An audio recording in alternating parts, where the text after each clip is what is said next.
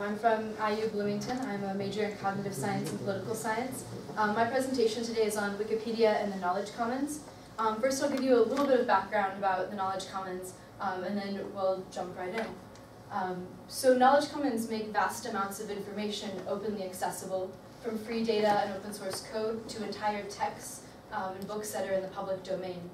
Like natural commons, such as a fishery or grazing land, a knowledge commons must coordinate between users so that the resources are maintained over time. Um, this means building mutual expectations between users in the form of social norms. And with Wikipedia, that means building mutual expectations among thousands of editors. Wikipedia is a colossal knowledge commons with a detailed record of page creation and link formation that spans more than a decade. It's a rare example of documented and time-stamped norms. What I'd like to do in this presentation is to weave together the quantitative but also narrative account of norm development on Wikipedia. Um, I'll then contextualize some of our findings about this process of norm development in the economic theory of the commons and also the sociological theory of institutions. So to start, there's probably something that you didn't know about Wikipedia, which is that along with the 5 million articles that are about every topic that you could possibly think of, there's also 2,000 pages in the Wikipedia namespace that are solely norms for editing the encyclopedia. They're sort of policies and rules about how people ought to interact with the content, but also with each other. Um, the norms are extensively documented, again, including the date that it was created and everything that it links to. Um, users can also categorize these, so some of them are policies while others are essays or humor. Most of the, uh, the norm system is made up of essays that describe um, different aspects of like the processes of Wikipedia. So with the ones that are categorized as policy and guidelines, we find that they um, grow really quickly from the very beginning of the encyclopedia. Something that's interesting is that when we separate the ones that are categorized as policy and guidelines from the rest, primarily essays, we find that there's a difference based on when the population starts to grow as well. You see policies grow, then the population, which is a little bizarre, and then everything else comes in. How we understand this is that a small group of people, the people who are around in the very beginning of the encyclopedia, are creating the policies which grow later to become some of the most important pages in the, net, in the network. And the essays, which are largely commentary on the policies and tend to surround it structurally, come later as more people come in, see the policies made by a smaller group of people, and begin to adapt them for the rest of the system. So neutral point of view, for example, is um, one, of, one of Wikipedia's oldest and, uh, as I'll show later, one of its most central norms. Uh, neutral point of view tells users that when they're adding information to the encyclopedia, they should keep it unbiased, they should use sources that um, are reliable in that they don't focus on one side of the argument or other or another. Um, in the earliest days of Wikipedia, it's interesting, this was um, what forced some branching between um, Wikipedia and other knowledge commons um, that we won't discuss here.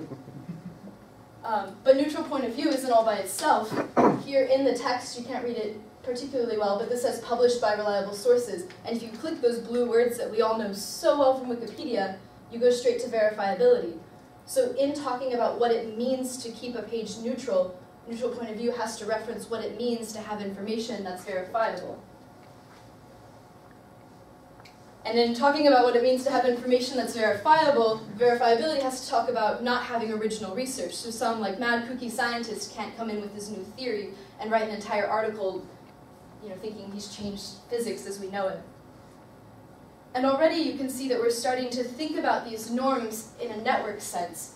You have neutral point of view, which references verifiability, and in doing so creates a directed edge between the two. So it's, it's um, it's pointing to it in the larger network. This network perspective is really helpful because it allows us to, to quantify the norms, to understand both the global structure and also the ways that they connect to each other locally and influence each other. Um, and we'll use it for the rest of this analysis to really understand the local and global structure of the norm system. One of the algorithms we'll use, you probably use every day and don't even know it, is that uh, is PageRank from Google. What PageRank does is it gives us an idea of who's popular in a network by looking not only at the friends of a node, but their friends' friends. And so how popular this guy is is totally dependent on both how many links are going in, but also how many links are going into his neighbors. So instead of just saying like, you know, he has 10 neighbors, for example, it's really taking in the entire global structure and the, and the relative importance within that entire structure. So we use a PageRank algorithm to calculate a value called eigenvector centrality, which I'll refer to as EC, and that's basically a node's probability of being accessed by a random walker in the network. So if you're just going through, you have a greater chance of ending up here than here, because you might hit the neighbor who's a neighbor of this one, and you'll end up at the um, more central nodes. Using that algorithm, we find out that Wikipedia has a set of core norms. These are the pages that you're most likely to come across navigating randomly, um, and they have the highest centrality. Uh, you'll have to trust me when I say it's a significant difference. These are way more central than any other page in the entire network. Um, and there's about 20 of them, and then it sort of breaks off, and things become um, just generally less central than these core norms.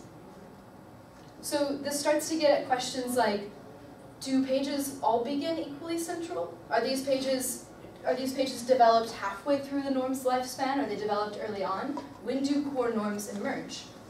And it brings up this question of inequality. And so to, uh, to answer the question of inequality, we use something traditionally used in economics called the Gini coefficient. Usually when you hear somebody talk about the Gini coefficient, you'll hear it with regards to income distribution, with, with regards to wealth.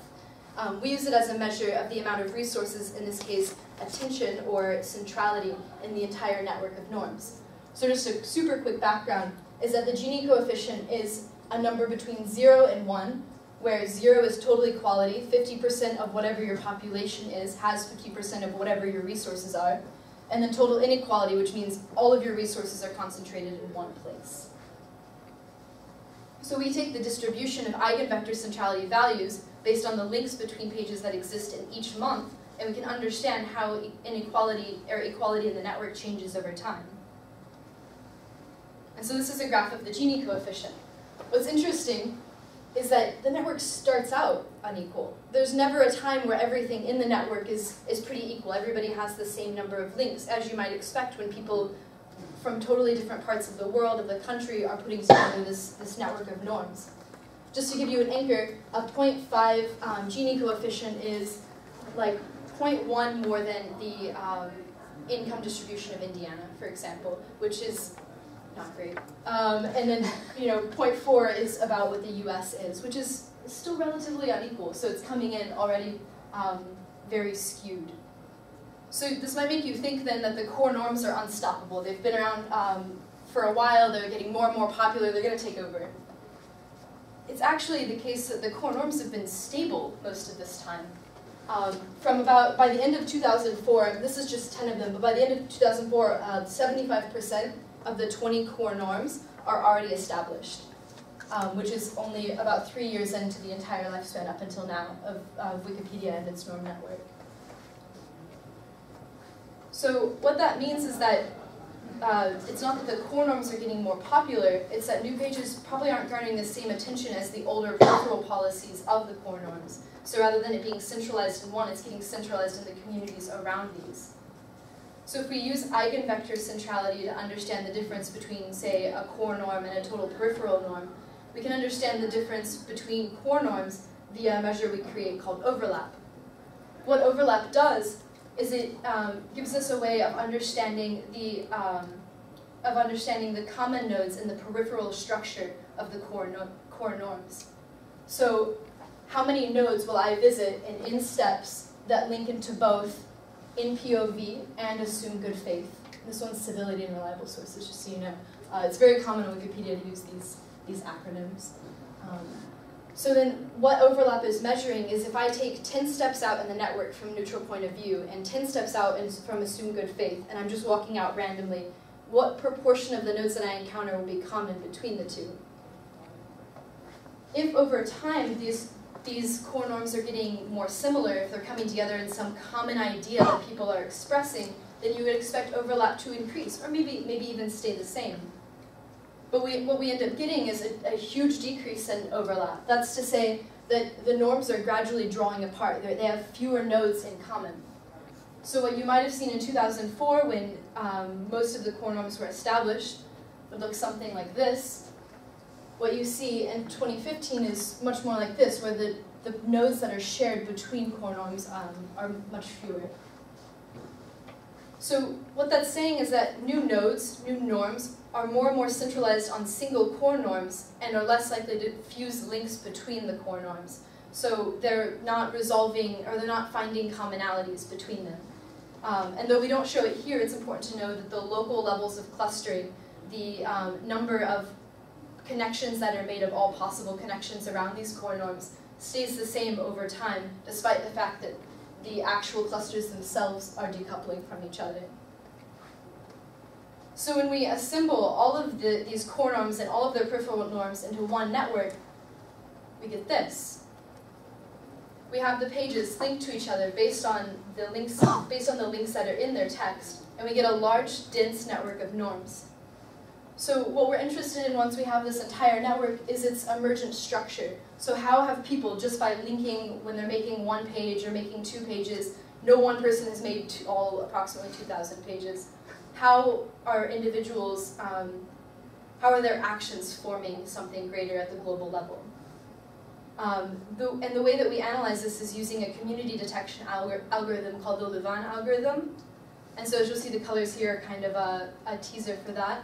Um, and then what we're able to do is once we have it split up like this, th I mean, this is exactly what we get to begin with, and we don't know what these mean at first. We can then look at those communities and find the central nodes within those communities,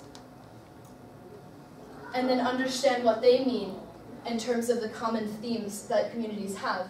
So it's a little small here, but this big blue chunk is collaboration. It has a norm like assume good faith, which says that while I'm editing, if I encounter something that you're doing that I think is not good for the encyclopedia, I should assume that you have the best interest of the encyclopedia in mind. Article quality, which has things like verifiability, neutral point of view, it really deals with having good sources um, in the encyclopedia. Content policy, which is a little more legal, deals with issues of image use and licensing, copyright, um, and administrators, which is where you get your banning um, and other like very uh, other of the few like very um, like top-down actions. And there's a bunch of really like great smaller communities like WikiLarping that can like talk about over coffee or something. They're fantastic. Um, so this is a lot really fast, but I'll just go through a couple of conclusions that we have from all of this so far.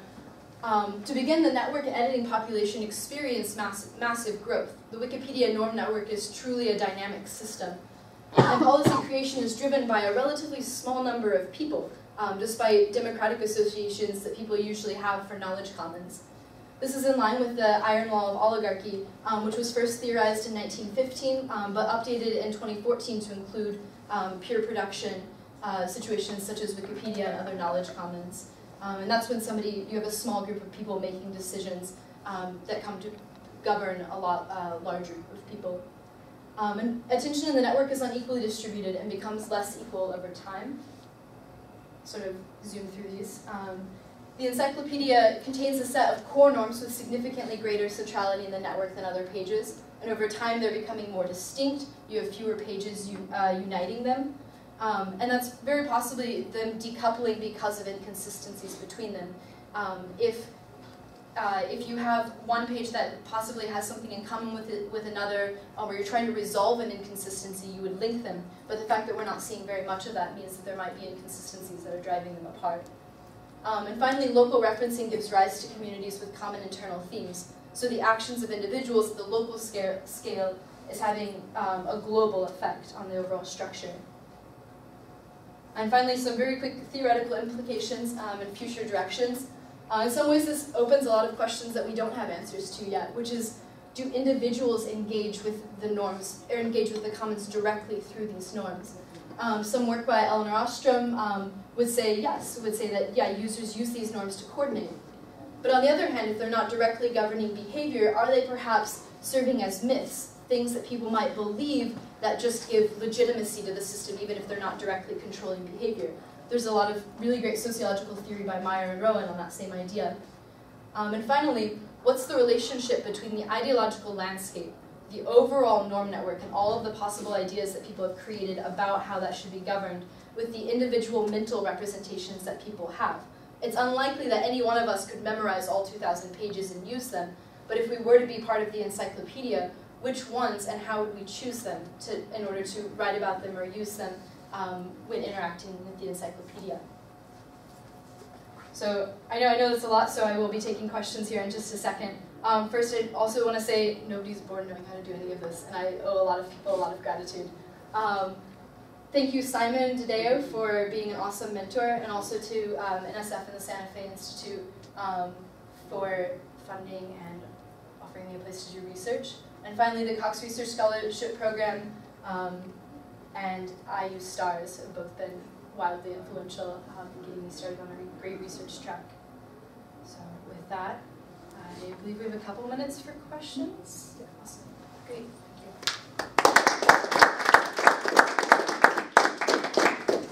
Great.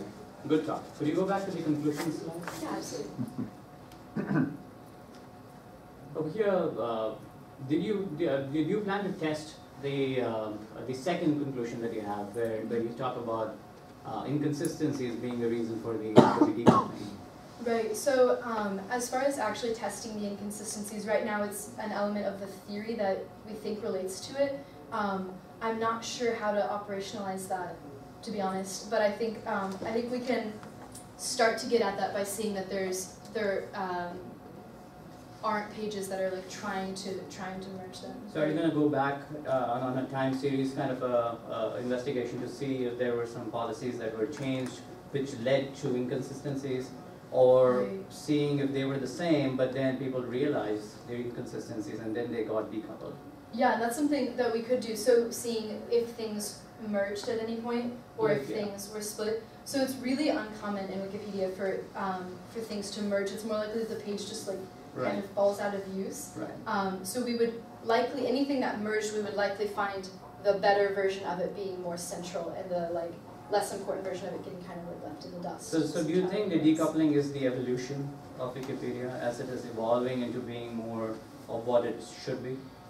Yeah, I, well, I think it's I think it's um, some ideas really sticking and Mhm. ideas that um, a small group of people were very passionate about in the sense that they were very adamant about like making those um, important from the very get-go and that those ideas are becoming more distinct as new people come in recognize the role of that idea in the encyclopedia and then comment on it sort of under the assumption that it's already important So, so do you think it's a good thing that it's I happening think it's a good thing. Ooh, um, I can't say. Yeah, I, I don't know. Probably a content-based analysis of seeing how, how new content uh, is in comparison to older content Mhm. would be a way to find out if the evolution is beneficial or not. Yeah, absolutely. It's a But good idea. excellent work. Thank you. How do you tell whether a page is defining a norm versus just any other article? Yeah. Um, so when we when we originally collected the pages, anything that has um, a general policy about how the encyclopedia should operate, we, we consider a norm. It has an understood this is how it ought to be, um, which is how Elinor Ostrom defines norms in the um, Grammar of Institutions paper that she wrote. Um, but we get rid of things like um, a list of policies that ha- doesn't have actual substance to it. So norm is a broad term for anything that somebody thought ought to be the case in Wikipedia. So did you go through all 2,000 or so by hand? Oh Or- no, so the two thousand that we look at are ones we've already gotten rid of, of lists or anything, or just like general like um, like boxes of information, like what you might see like if you look up like a biography or something. Once we've excluded all of the noise, so to say, uh, it's like nineteen sixty seven or how many we're left with when it's all said and done. So that's part of the like code for actually spidering and um, getting it off of Wikipedia. Is that it's like systematically taken care of. So the norm pages are actually marked by Wikipedia? Or Um, are you looking for specific strings or? Right, so they're, they're the pages in that Wikipedia namespace that aren't like, that have an amount, like a substance to them that's not just a list or like a info box or something. Okay. Yeah, I can give you more information about that. Yeah. Uh, how do you kind of relate this idea of knowledge commons and kind of the structure of that to like like as you mentioned earlier in the beginning of the talk, like other commons like natural resource commons? Yeah. Um, so there, there are some um, very big differences in the sense that in a natural resource commons, um, you have this idea of subtractability. So my use of a resource directly takes away from your ability to use it. In Knowledge Commons, it's a little different. That subtractability isn't really an issue. When I look up something on Wikipedia, it doesn't directly prohibit anybody else from looking up the same thing. Um, but you still have to have, there's still like an inherent, commons are inherently social, and that's what they'll have in common regardless. Um, and knowledge commons, because you have people um, who are not interacting face to face most of the time, trying to create mutual expectations between them, you have to have um, the mutual expectations that you create. How do I put this? Um, I would say, right, so I, I can't show that show with this, are uh, a little bit more like explicit. They're not as like space-based as natural commons would be. Like there's there's less of that like personal interaction, so you really have to have these like like records like what Wikipedia has. Um, and they deal with like different issues like content quality, for example, um, and may even have different impacts as far as whether they're directly enforced or more of this like still beneficial institutional myth. Does that Yeah. answer your questions? Well, thank you. Thank you.